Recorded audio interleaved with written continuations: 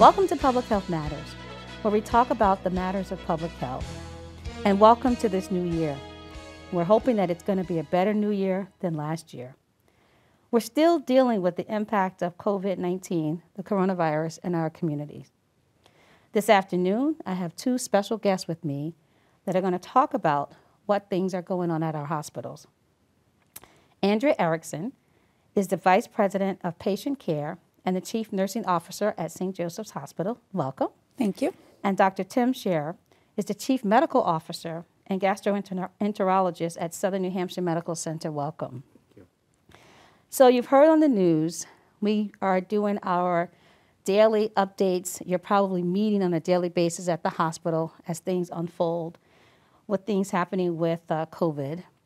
Our numbers in New Hampshire and Nashua continue to increase.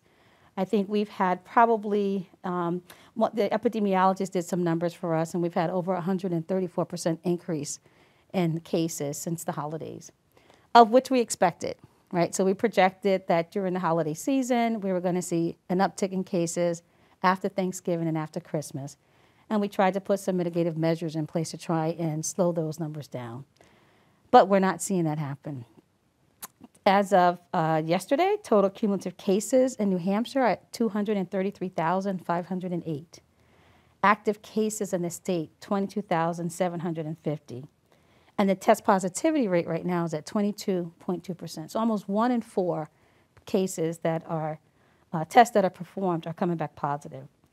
And this is the number that's the most disturbing for us is that right now there are 432 individuals that are in the hospital in the state. And we know that data is being collected from all of our hospitals. And so we want to talk a little bit more about what's happening down here in Nashua in our two hospitals. What does it look like? How are things um, panning out for you on the front lines, day in and day out? And this has got to be hard for you all. Do you want to tell us a little bit about how things are going? And let's start with let's start with Southern first. Sure. Um, it's the system's taxed. Um, there are many sick patients in the hospital right now. In fact, 36 COVID patients are admitted into our hospital, and we have three additional patients that have recovered from COVID but are still in the hospital because of other issues. Um, just to put it in perspective, Southern New Hampshire Medical Center is a 188 bed acute care facility. But not all of those beds are for patients with medical issues. Many of those beds are for other things pediatrics, our um, special care nursery, labor and delivery. We have about 108 beds overall to deal with medical surgical patients. In addition, we have 11 beds to deal with patients with, a, with uh, intensive care needs. Staffing has been a challenge. There are many people who have decided they no longer want to participate in hospital-based care. Yeah. Nurses, nursing assistants, a, a, number of different people. So that 108 bed capacity drops down to about 80 to 85. So now all of a sudden. Wait, you said something that's really important there. Mm-hmm. So because of that capacity, the number of individuals that can actually be in the hospital in the beds has decreased significantly. I don't think people understand that. Correct. Yeah, we, we have probably uh, 10, we're probably down 10 to 15 beds right now, which is an improvement for us. And the reason why we're only down 10 to 15 from what our baseline has been mm-hmm. is because we have stopped performing elective surgeries. We've We've cut down on what we're doing, so we're really only performing surgeries on people who have devastating diagnoses, cancers, things of that nature, mm. that they can't wait.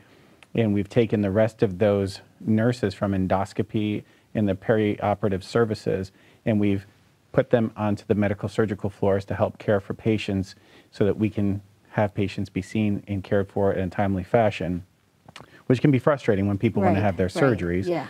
And so but so even with that, we're still not at what our baseline number of available beds are.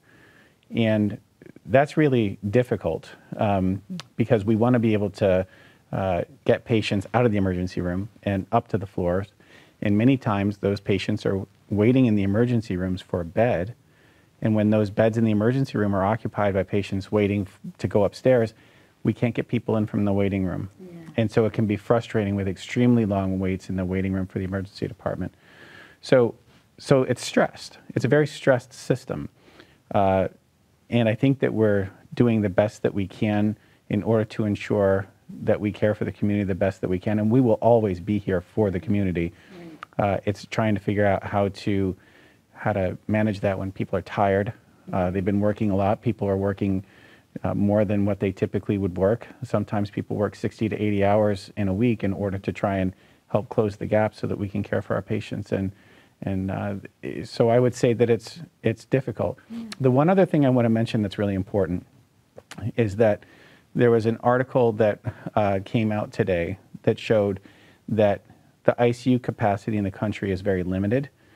And New Hampshire is one of four states in the country that has less than 10% of its baseline ICU beds available for care of patients. Yeah.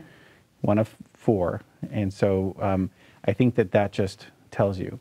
Right, Um, and that's been going on for a while. Yes. Now, so, um, St. Joe's and Southern only about a mile apart. And sometimes if a person goes up to or down to Southern and the ED is packed, they're going to come up to St. Joe's. So tell us about what's happening in St. Joe's, Andrea. Thank you. So it's very similar for what's happening down the street. Um, our emergency room is a 23 bed emergency room and it's chocker block full. A lot of it is capacity up on the inpatient unit, whether it's med surg level of care or ICU level of care.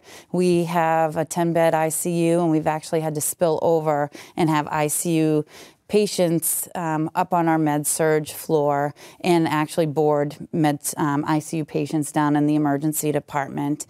So when you have capacity that's limited in your emergency department, it's very very challenging to get those patients in out of your waiting room. And so you run the risk of having those patients leave your your hospital, which is called Left Without Being Seen, so they can go down the street and try to seek care somewhere else. And you never want to have your patients leave your emergency department because you don't want to put anyone at risk. Um, but the, the staff are exhausted. Um, they're working really hard. We, we're calling it that great resignation. Um, people that are close to retirement, they've chosen to do so.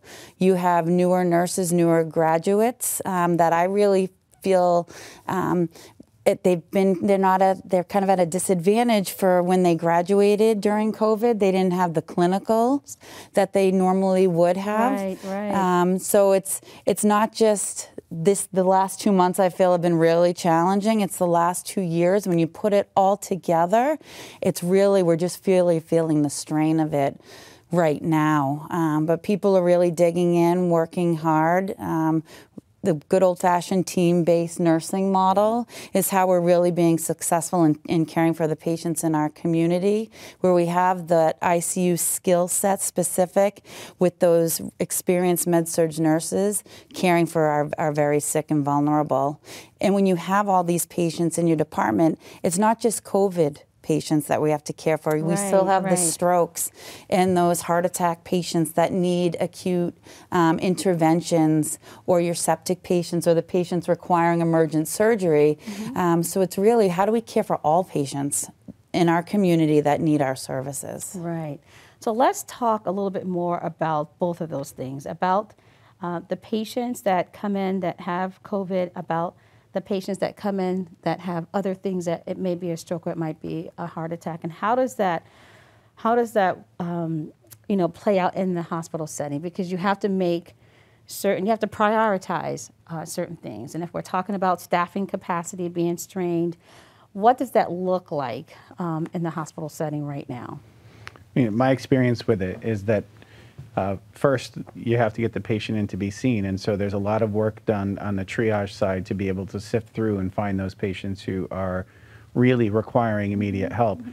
And then when you identify it, you figure it out. And there's a lot of shifting. Our nursing supervisors are always trying to create space so that we can um, put a patient where they need to be and get the care that they need to get, whether it's a, a heart attack that requires a catheterization um, or if it's a stroke patient. Um, uh, ultimately, we'll find a place for those folks to be, but sometimes it backs up into the emergency department.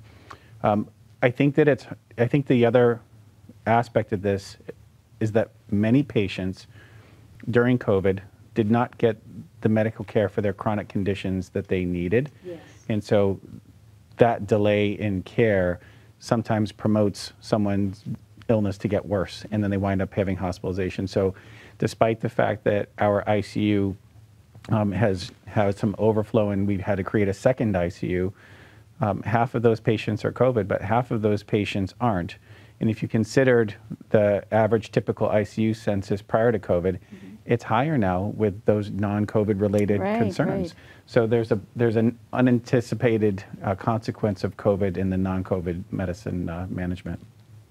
Now, and what is, how is this playing out for the staff? Because you mentioned the longer hours that people are working. We have more people that are choosing to retire because they're at that place. And then you've got the newer nurses that may not have as much experience. And you're dealing with this, this balancing of this prioritizing of, uh, you know, how the care will be delivered. How is that playing out for the staff at the nursing level all the way up? Well, I think, you know, it, we stood up our internal code white, and I'm sure you did as well. So it's all hands on deck, looking at your staffing grids, looking at your complement of staffing. How do we flex? And it's all about being nimble mm-hmm. during this time, and how do we how do we ebb and flow with our patient volume, our census, our acuity, and it might change every four hours, every eight hours. So it's really looking at that complement of staffing and how do we adjust. Um, we've had to utilize agency agency travelers or, or temporary agency in our in our hospital to supplement. Um, which is a benefit, and we need to bring those nurses in. Great skill set, um, but again, we want to attract and, and attain our own staff. But that's been a challenge right now. We're in a very competitive market. Southern is one mile down Kinsley Street, but we also have, you know, the Manchester hospitals in our market, the I-93 corridor down into Massachusetts. We, we're five, min, five miles from Massachusetts, completely different market, which I think is a That's struggle hard- for That's hard for New Hampshire, period. It really is. right? Because you can go right over the border, um, and the difference in your pay is going to be, you know, pretty significant. Correct. Let's talk a little bit about, um, you know, in the treatment for uh, COVID patients, right? So there's there's a lot of information uh, that we really want our public and our community to know about as far as um, some of the things that we have to help take care of people. And we have some therapeutics that have come on the scene right now, which goes into our armament. So we've got our masks that we really want people to wear to stop the spread of the virus in the community, and that's so important.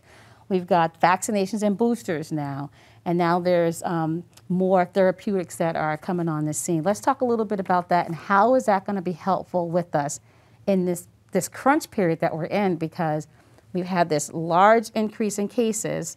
Today it was reported out that in Nashua we have over 3,000 3, 3,000 cases that were reported today. So you know in a couple of weeks what that might look like for the hospitals. How are these therapeutics going to be helpful? I think the most interesting piece is that it shifts.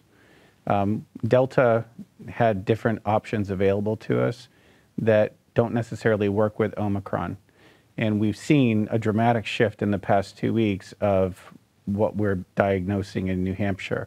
We went from 10% um, of Omicron being newly diagnosed up to over 80%.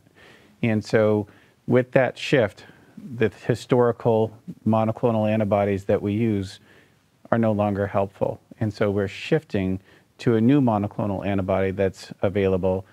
And the concept is supposed to be that if you have significant risk to progress to severe disease, and if you have onset of symptoms and you get an infusion of this antibody within 10 days of the onset of symptoms, you may decrease the likelihood of progression to severe disease and needing the hospital. That's awesome. And so, identification of who's high risk to go and access to the infusion, uh, I think are going to be, you know, very important to try and not overtax the already overtaxed health systems. Antivirals um, that are oral agents will be next, same sort of category.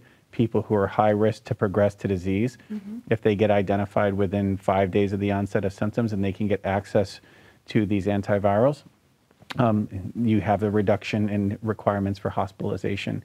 These are the sorts of things that are, go- that are going to help keep people as well as possible and to help prevent them from needing hospital-based services and running the risk of significant morbidity and even mortality. Yeah, So I yeah. think that this part's important. And, and right now, I think that we're all trying to um, operationalize getting these medications to people um, as we as we receive the medications. Yeah. And then how do you how do you prioritize who those patients are? So for instance, you know, we've known that um, you know, COVID doesn't do the same thing in, in everyone. There are some folks that are asymptomatic, some people have very mild symptoms. Who's a candidate for these therapeutics? Um, if it depends on your comorbidities. Um, if you wind up having a history of heart disease, whether Yeah. It's congenital heart disease or otherwise congestive heart failure, if you're uh, COPD, if you're immunosuppressed, Okay. um, these are the sorts of folks that are the higher risk to progress, and those are the ones that should be prioritized to uh, to be available under this. And, and that's part of the indications under emergency use authorization is this, this category of people Mm-hmm. um, that you know that really should be considered for these treatments.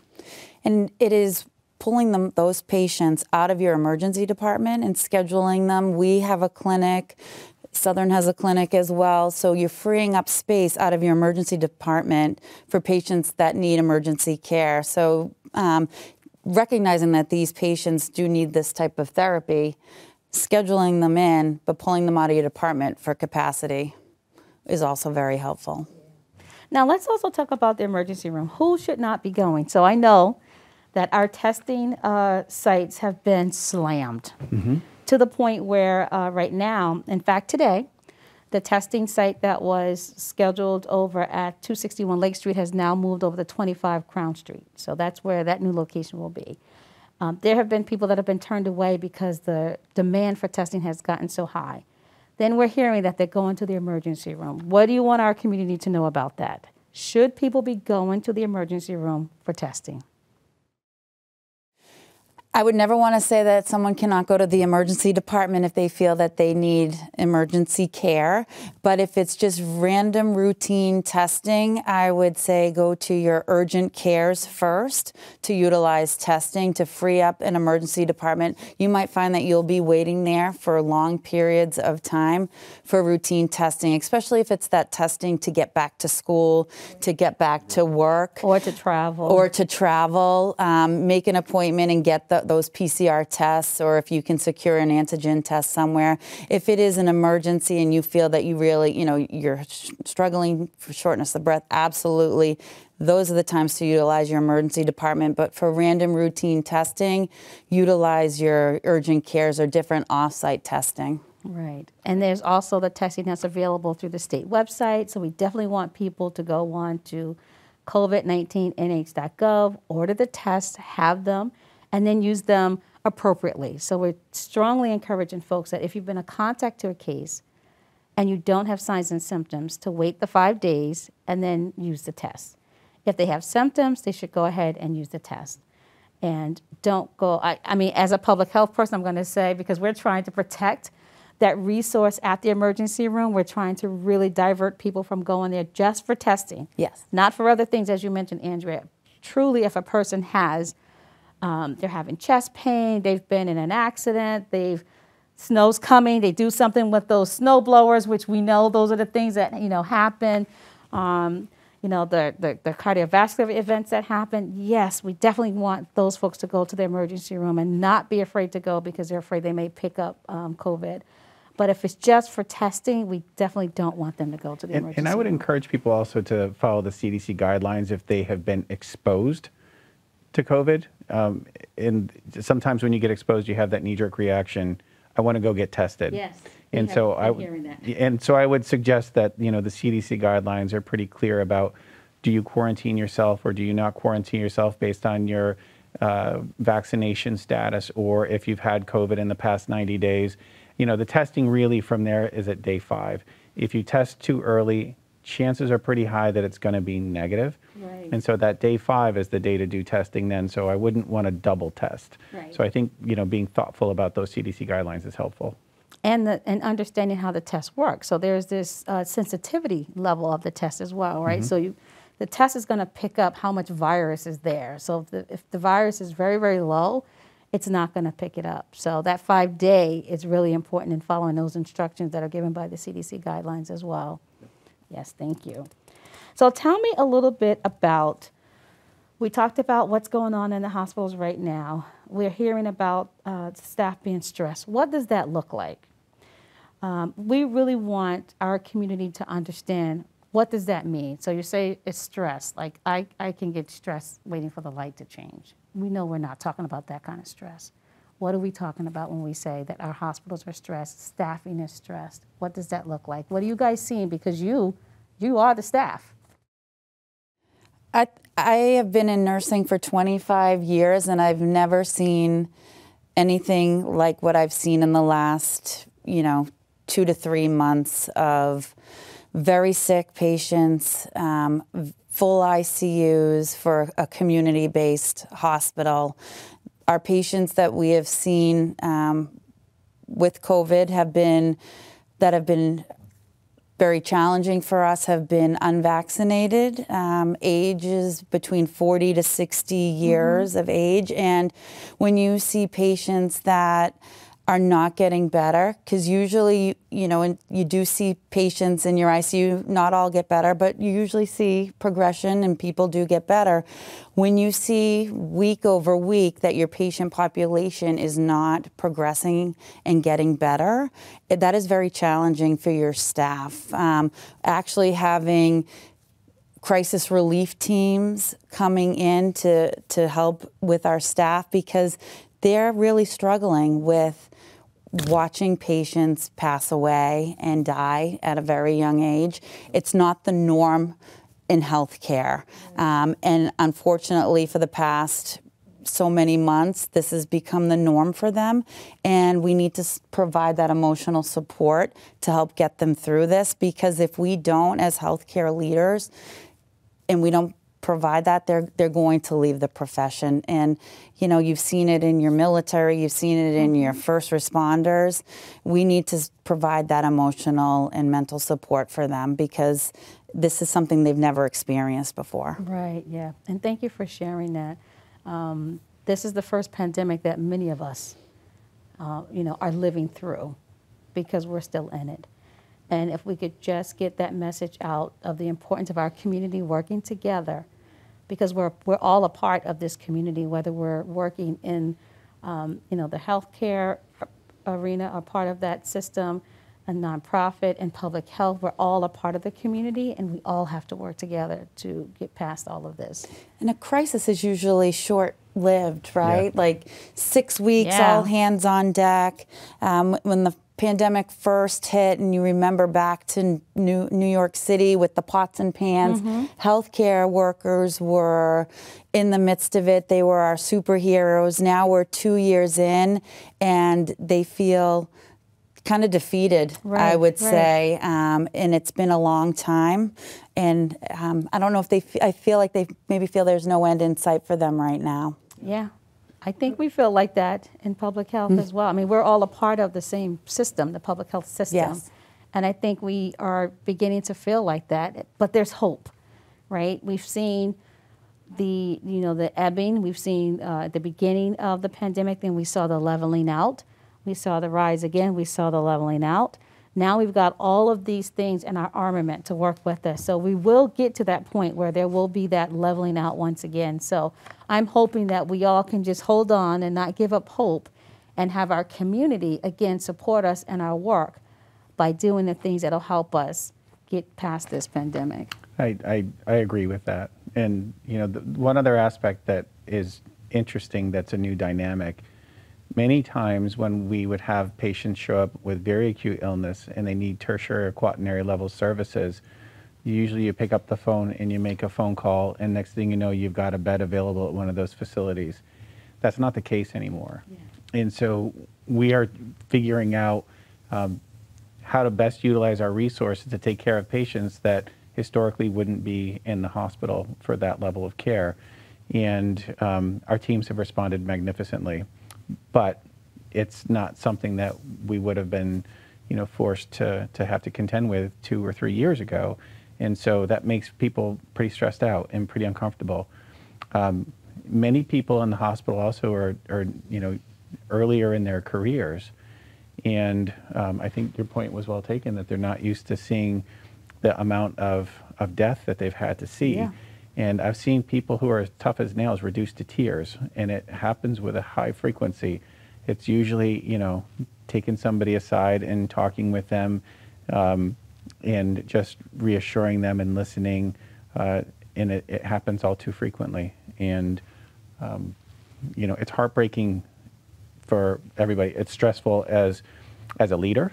Um, it's stressful because you feel for these people because these people are your family. Right. And and you and and not only that, but you, you know, we need to keep them, you know, uh, focused on caring for the patients and caring for the community, which is why we're here. I mean, it's it's it's very stressful and uh, we're dedicated, but you know, people are they're requiring a little TLC. Right. What is one thing that you'd like to leave what, um, with our community today? I'd like to say that we're dedicated. We're here for you. It's hard, and you know we're going to be here to do our part. We'd love to have people do a couple of things to to try and help us, which is make sure that you follow up with your primary care doc with your chronic illnesses to make sure that they're managed so you don't need to use the emergency department. Vaccination is very effective. If you do have symptoms, um, you know, trying to, especially if you're high risk to progress the disease, if we can identify you a little bit earlier and get some treatment for you a little bit earlier, um, it may make the difference of needing to be hospitalized or not. And lastly, you know, I, I think being kind to one another. I think it's a pretty stressful time for everybody, and I think that that's important. Yeah. I agree. And it's it's that compassion. I think compassion fatigue is is there. Um, and when you're you are visiting the emergency department and there are some delays, be kind to those those people taking care of you. It's easy, you know, you said when you're at the light you get frustrated. It's easy to get frustrated in there. So just remember that everyone's working really hard and we are there for the community and we will remain that to be to be committed to the community. Well, we definitely in public health want to thank you. Um, both hospitals have been partners with us throughout this entire um, pandemic.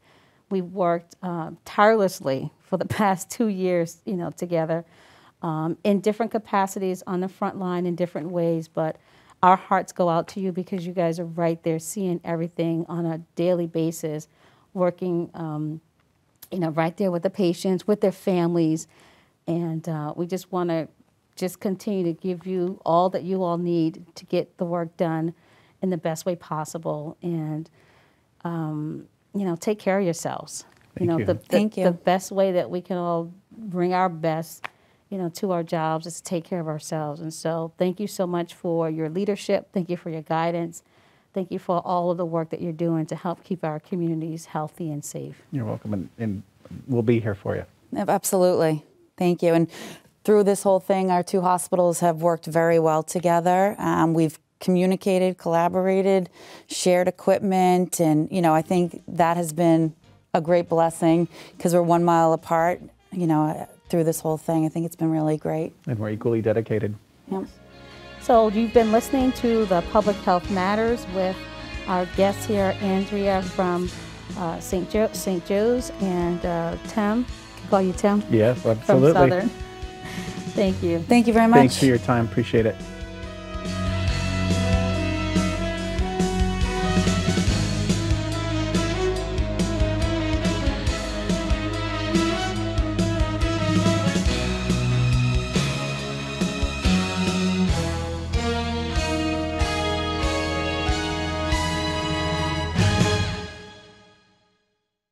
As New Hampshire continues to combat COVID 19 and its variants, you can help do your part to prevent the spread of the virus.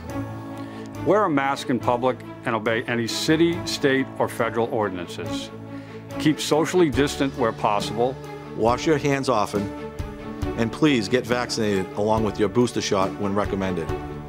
We can stop this pandemic if we work together, so we can all have a safe and healthy 2022.